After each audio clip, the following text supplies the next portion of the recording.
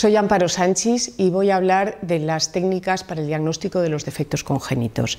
Antes de pasar a hablar de las técnicas, me parece fundamental, como muestro aquí en la diapositiva, el recuerdo de algunas nociones de genética que considero básicas, como es el concepto de cromosoma, como es el concepto de gen o región del genoma que codifica para proteínas y que es francamente escaso dentro del contexto de, toda la, de todo el ADN del individuo, el concepto de soma, el concepto de ADN no codificante, aparte de que sea fundamental por la gran extensión que tiene, eh, es fundamental también porque en, él, en, este, en esta parte del ADN se sitúan los genes reguladores, tanto potenciadores como silenciadores, de la expresión génica. Por lo tanto, el ADN no codificante es fundamental para la diferenciación celular, que es la base del organismo humano.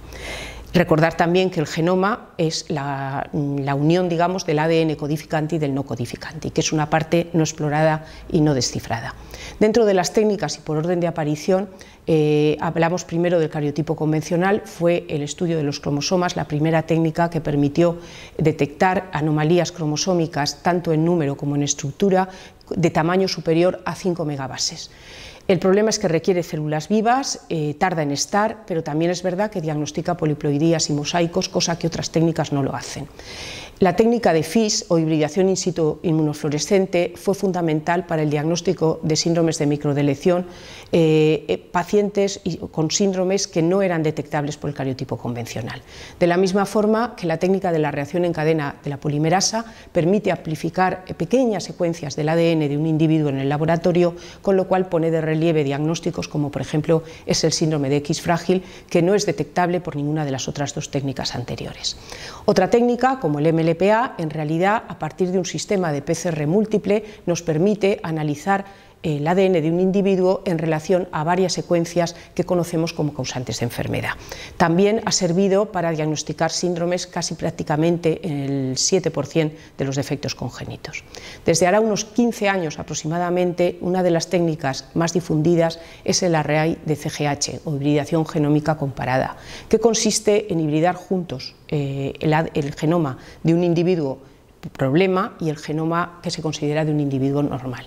Tiene la ventaja sobre los anteriores, eh, sobre todo sobre el cariotipo, que tiene muchísima más resolución porque tiene una gran cantidad de número de sondas que permite analizar secuencias cada vez más pequeñas, no precisa células vivas, pero tiene también un problema y es que no detecta mutaciones puntuales como ocurre con la secuenciación que veremos a continuación y sobre todo no detecta mosaicos de baja frecuencia, lo cual también es importante de cara al diagnóstico. La secuenciación génica, eh, ideada por Sanger en 1977, es el patrón oro de la genética. Es capaz de identificar variantes genéticas mínimas, incluidas las de un único nucleótido. Tiene un problema, que es enormemente lento. Se necesita un año para analizar, para secuenciar el exoma de un individuo. Tardó 10 años en descifrar el código genético. Sin embargo, eh, gracias a los avances biotecnológicos y a los avances en informática, la secuenciación de última generación, o conocida también como secuenciación masiva, ha podido ser aplicada a la, práctica con mucho menor coste porque permite en 24 horas secuenciar el exoma de un individuo. Cualquiera de todas estas plataformas de secuenciación parten siempre de la base de comparar un ADN de un individuo problema con el, de digamos, una población normal. Para ello necesitamos saber cuáles, son las características de la población normal, lo cual no es fácil. Pero en cualquier caso lo que intentamos es simplificar el diagnóstico y simplificar la interpretación por la gran, la gran cantidad de variantes de significado incierto. Podemos, ante un paciente con un cuadro sindrómico eh, que nos recuerda un fenotipo determinado, eh, analizar o secuenciar únicamente aquellos genes que provocan este síndrome, pero a veces eh, o no se conocen o no es tan sencillo y simplemente podemos analizarlo de cara a la patología más relevante que presenta el paciente, por ejemplo, una epilepsia o una discapacidad intelectual.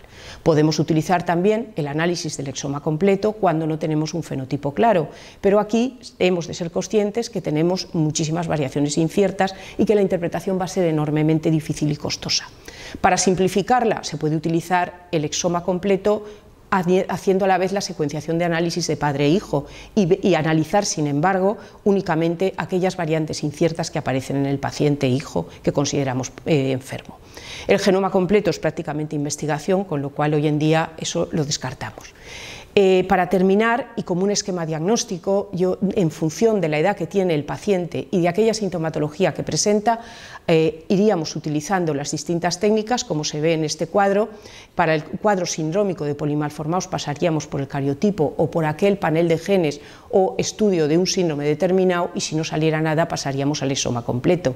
Mientras que en los casos de discapacidad intelectual sin grandes polimalformaciones pasaríamos a descartar un desbalance génico con un array y a descartar un X frágil para luego, si no obtuviéramos ningún resultado, pasar al análisis de todo el exoma. Y nada más, espero que haya sido de utilidad el recuerdo. Muchas gracias.